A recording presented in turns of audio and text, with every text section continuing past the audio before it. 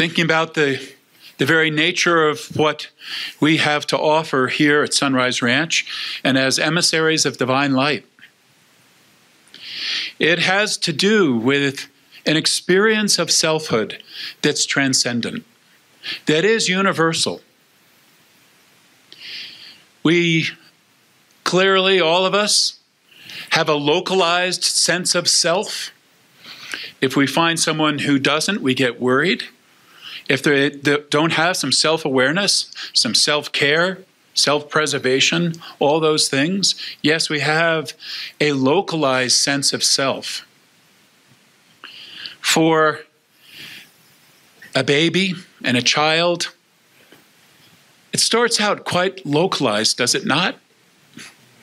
Hungry. And what, what the immediate surrounds mom, come. Food. And we can feel the transcendence still shining through them, and yet the immediate concern is local, and the concerns grow through childhood. It's larger in ad- adolescence. There's a reaching out. Oh my God, there's other people here. And how do I relate to them? What do I have to share with them? Emerging into adulthood, the capacities grow. And so a young adult is learning how to use those capacities.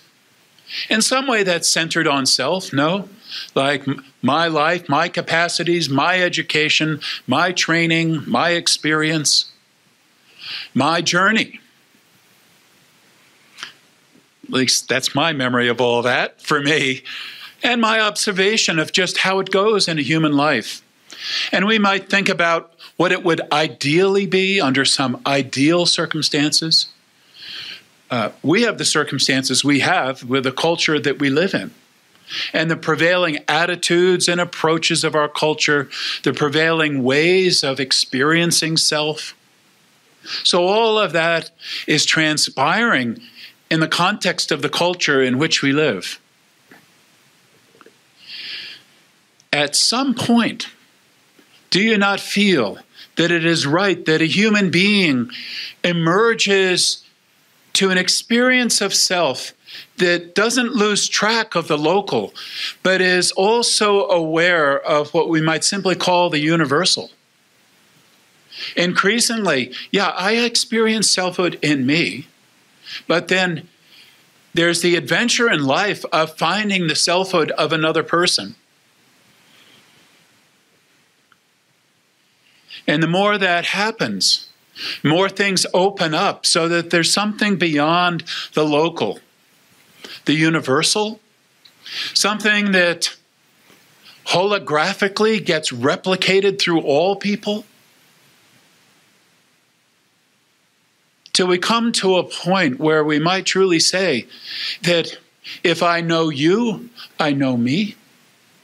If I know me, I know you.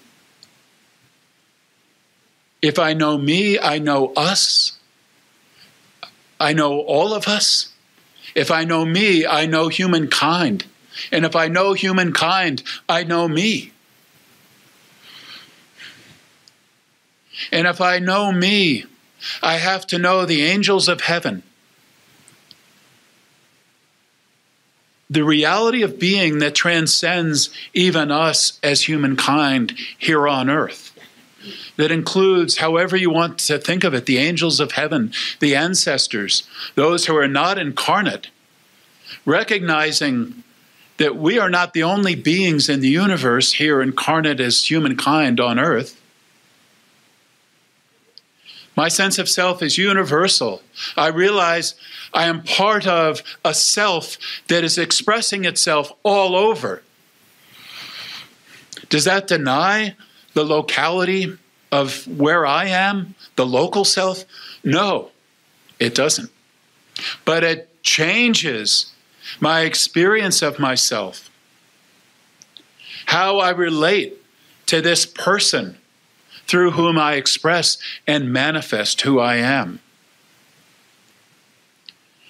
There comes a, a penetrating of that outer capacity with something transcendent so that who I am as a human being is serving something vast and glorious, something huge. It also means that I inherit powers to reach out to other people because I'm not reaching out across some chasm, some abyss to someone totally different than me. Yes, I glory in the ways that we are different. Unique beings, uniquely manifesting. And yet, I also know something that is universal to us all. And I know that as I embrace that expression as it comes out in me, I'm at, the same time celebrating that in you.